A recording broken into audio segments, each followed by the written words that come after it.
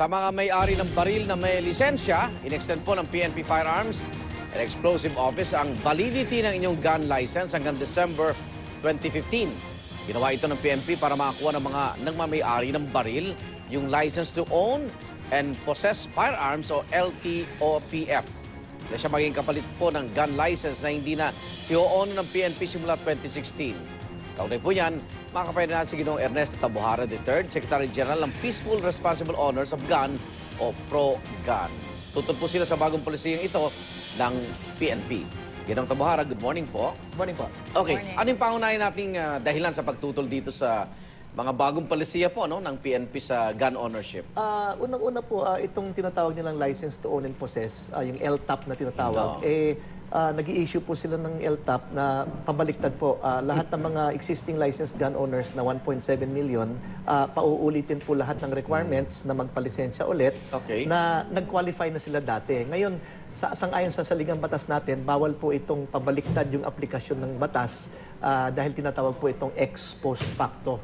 So, dapat po paurong lang or forward yung ah, pag-apply ng batas. So dapat mga existing gun owners, ah, existing applicants, no, yung mga panibagong mga licensed gun Yun na owners lang ang nag-apply, ano. doon i-apply yung LTAP na tinatawag. Tapos yung mga dati mga lisensyado na, yung mga naka-qualify Renewal na na lang. mga araw, Oh. renewal na lang, tsaka absorb na sila dapat doon sa bagong sistema. So, ang, ang, ang consequence po nito, parang start from zero tayo lahat. Yes, Ganun sir. ba? And uh, ang, ang naging problema kasi dito, yung 1.7 million licensed gun owners, it took 20 to 30 years to accumulate and process all those licenses. Mm-hmm. Eh. Ngayon gusto ng PNP, ngayong i- within one year period, uulitin lahat ng 1.7 million na yan, magre-reapply lahat. And they don't have the facilities to, to handle uh, all the applications. Hindi kaya? Mag- hindi po kasi, is, ang biro nga, isa lang ang computer doon, isang secretary. Tapos Tsaka sasabay pa yung mga bago na nag-apply. Opo, and then uh, meron pong karagdagang requirement yung registration. Uh, you will have to bring your firearm to the PNP Crime Laboratory personally na pa-ballistic testing mo yung baril na wala ka naman permit to transport, wala ka naman permit to carry. So, kung galing ka sa Mindanao, galing ka sa Visayas, dadalhin mo yung baril mo doon sa krami, Ah, lahat sa bawal bawal ho. centralized lahat? Opo, and uh, that is the reason why we filed a case previously, no, noong o April, na i-questionin itong centralized gun licensing. May, singil bang, may bago bang singil yan? Ah, meron po, ma- mataas po ang singil. eh. Although wala pang approved fees, yun ang problema. Wala pang in-approve na fees ng DILG and yet they're already issuing temporary. Sir Nia, yung mga, Receipt. yung Receipt. mga nakapag-issue na ng lisensya this year, ibig sabihin, mawawala ng visa yon at kailangan mo mag... Uulit ka. mag- Oo, LTAP Ah, hindi ulit. lang ho this year, pati yung nakaraan O yung pa. mga nakaraan. Kasi So, every two years ho yan, hindi ho ba? Tama Opo, ho ba? and the, the problem is uh, yung, yung iba kasi, dumami ang requirements eh. Where- Whereas before, nakapag-qualify, ngayon hindi maaring tu- hindi tumama doon sa isang requirement. So bumagsak doon sa LTAP requirement.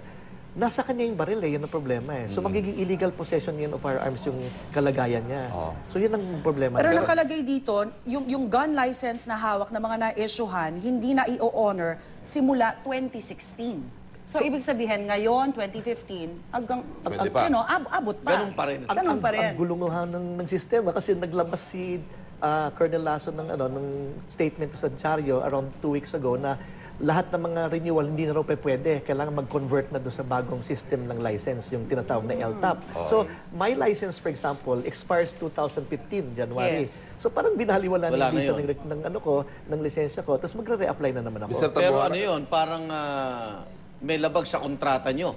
Opo, Dahil ang lisensya mo hanggang January 2015 Correct. pa. Opo, Yun ang and- binayaran And nyo. eh. also the Constitution, because sabi nga ng Constitution, RA 10591 relating to firearms is a criminal law. So hindi pa pwedeng pabaliktad ang aplikasyon nito. Right. Dapat forward. Yes, yes, yes. So ngayon, legal kami, licensed gun owners kami, 20, 30 years, 40 Sa years na, ngayon. no? Tapos biglang naglabas ng batas, binaliktad yung application, naging illegal lahat. So, TRO ba kayo? yun. Punta, papunta kayong TRO? Yes, sir. Uh, we were we will file next week uh, another petition sa Supreme Court na questionin itong sistema na to. ito naman hubang sistema ito applies to all. O baka naman meron pa rin, alam mo na, napapakiusap, Pagbibigyan. na-express, napapas Well, ang, ang, ang gulo nga sir ng, ng sistema ngayon kasi wala ka pang schedule of fees. How can you issue licenses right now, pa-apply ng mga fees. license owners na wala pang fees? There's no approved schedule of fees yet and they're issuing temporary uh, LTAP, six months validity, whereas sa batas, two years ang nakalagay dapat. Ah, okay. Medyo magulo nga.